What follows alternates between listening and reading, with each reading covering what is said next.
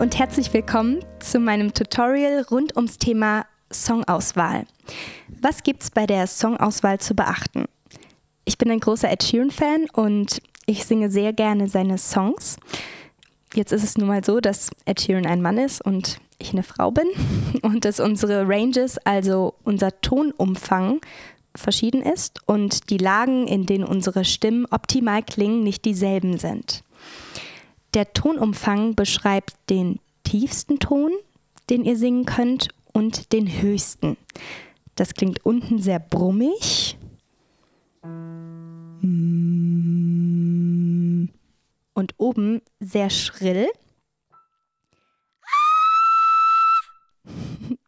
Und dann gibt es dazwischen Tonlagen, in denen unsere Stimme ganz besonders schön klingt und in der wir mit ihr spielen können, wo wir strahlen können.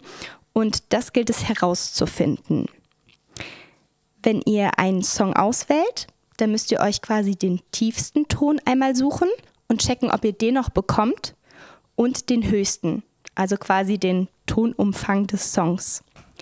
Wenn der dann für euch gut machbar ist, aber eher an eurer unteren Grenze liegt, dann wäre es sinnvoll, den Ton in einer höheren Tonart zu singen weil wenn der Song durchgängig tief ist, könnt ihr keine Power und keine Lautstärke entwickeln und keine Dynamik aufbauen. Nehmen wir mal den Song Icy Fire von Ed Sheeran. Ich teste ihn mal in der Originaltonart und schau mal, wie die so zu meiner Stimme passt.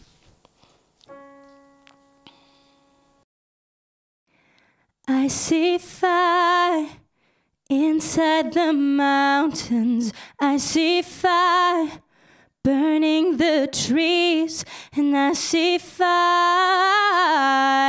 hollowing souls, and I see fire blood in the breeze. Ist ganz okay. Nicht ganz optimal, noch ein bisschen zu tief. Ähm, ihr könnt dann auch entweder Halbton- oder Ganztonschritte hochgehen. Ähm, ich gehe mal einen Ganzton hoch.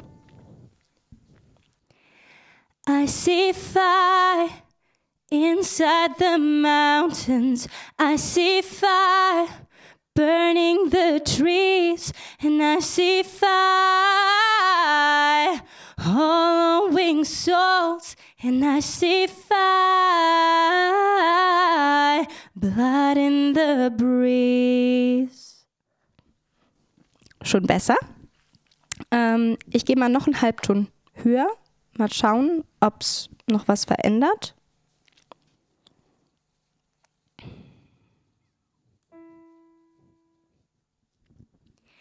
I see fire inside the mountains. I see fire burning the trees, and I see fire hollowing souls, and I see fire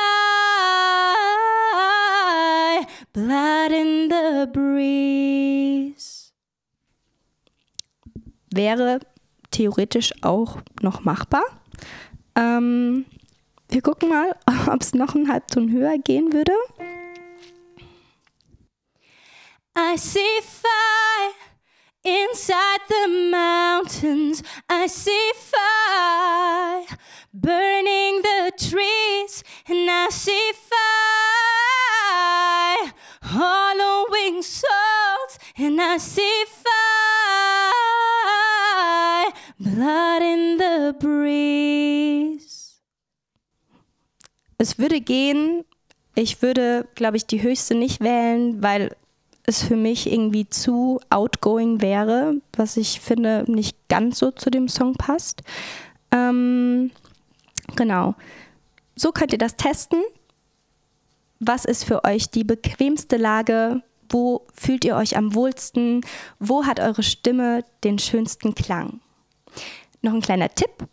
Ähm, könnt ihr weder Klavier noch Gitarre spielen und wollt euren Song zu einem Instrumentalplayback singen, dann ähm, könnt ihr diese Playbacks mit einem Programm wie zum Beispiel Audacity oder Logic in der Tonart verändern.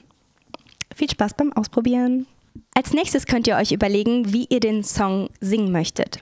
Er soll ja euer eigenes Cover werden und da könnt ihr euch überlegen, möchtet ihr nah am Original dranbleiben oder möchtet ihr vielleicht ein paar Adlibs oder Vocal Breaks einfügen, um eurem Cover einen persönlichen Anstrich zu geben? Probiert doch mal ein bisschen rum, singt den Song mal ganz schlicht und sanft oder baut Adlibs und Vocal Breaks ein, singt ihn mal mit viel Dynamik, sprich erst leise und zart und dann lauter werdend. Ähm, wenn ihr mit eurer Stimme schon ein bisschen umgehen könnt, dann probiert einfach aus und findet euren Stil. Ich bringe euch mal ein paar Beispiele und vielleicht ist das eine kleine Inspiration für euch.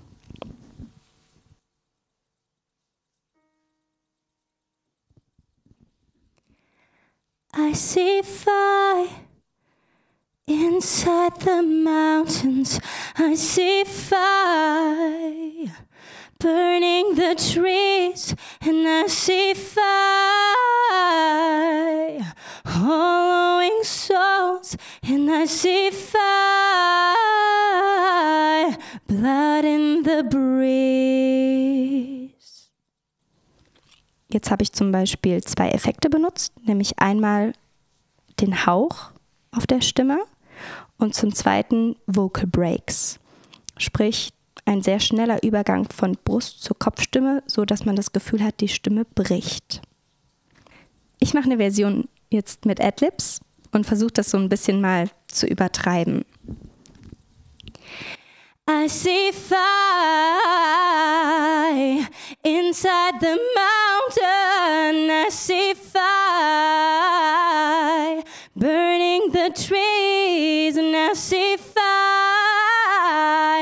hollowing souls, and I see fire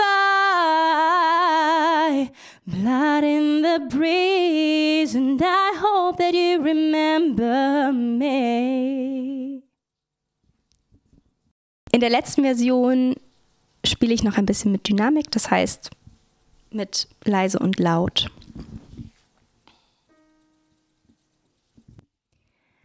I see fire inside the mountains. I see fire burning the trees, and I see fire hollowing souls, and I see fire blood in the breeze. Als letzten Punkt um euren Song zu perfektionieren, könnt ihr noch über die Interpretation nachdenken. Gerade im Musical ist so eine Songinterpretation unumgänglich, weil der Song die Situation und die Stimmung der Rolle ausdrückt und die Handlung vorantreibt. In meiner Ausbildung hieß das Fach Interpret. Aber auch in einem Popsong kann man interpretieren, um ihn quasi noch eindringlicher und emotionaler zu performen. Und Bühnenpräsenz und Ausstrahlung braucht man als Popstar ja genauso wie als Musicaldarsteller. Und da könnt ihr euch mal folgende Fragen stellen. Was sagt der Song aus? Oder was willst du als Sänger mit dem Song sagen? In welcher Stimmung bist du? Bist du glücklich? Bist du traurig? Bist du verzweifelt? Bist du wütend? Wo befindest du dich gerade im Song? Also stellst du dir vor, während du den Song singst, du bist drinnen oder bist du draußen?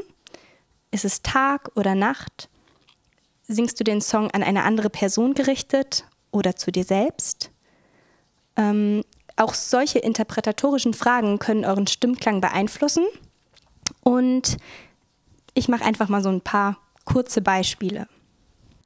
I see fire inside the mountains.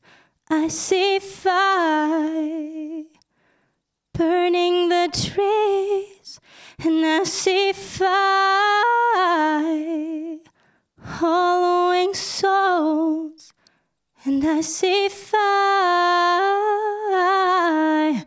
blood in the breeze. Das wäre jetzt quasi eher zu mir selber gesungen und eher traurig.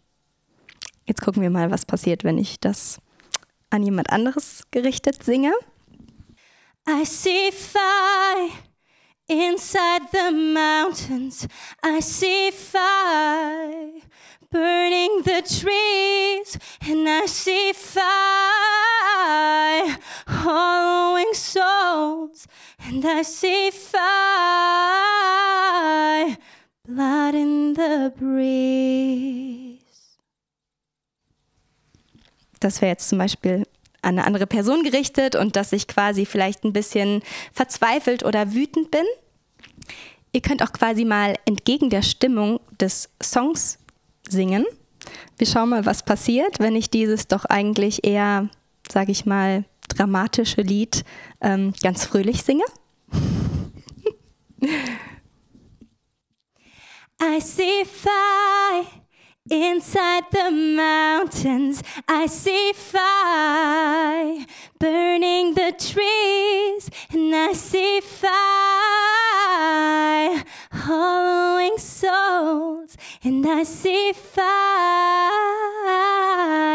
blood in the breeze.